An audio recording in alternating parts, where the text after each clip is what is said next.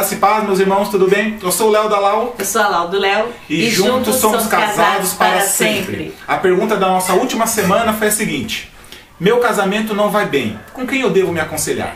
Isso é um perigo.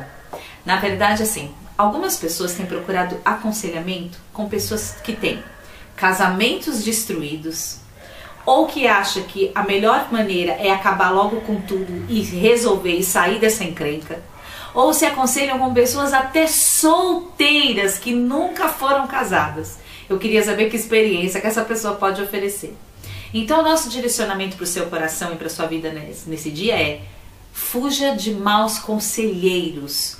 Escolha as pessoas certas. Não, claro, pessoas que tenham casamentos perfeitos, mas pessoas que tenham temor ao Senhor, que tenham temor à palavra de Deus. Tome cuidado com quem você conversa.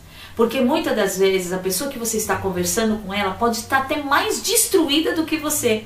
O ideal é que você procure pessoas que você confie, que não vai sair falando da tua vida por aí e nem contando das situações que você está passando. A, me, a primeira pessoa que deve ouvir de você que o casamento não vai bem é Jesus. Vá aos pés da cruz. Converse com Deus o que está acontecendo. Desabafe aos pés do Senhor. Na segunda dica, procure pessoas de confiança, pessoas que tenham temor a Deus, pessoas que acreditam no casamento. Porque de pessoas desacreditadas, tá muito por aí. Meus irmãos, infelizmente a conversa é muito simples. Como é que você vai pedir receita de bolo para um mecânico?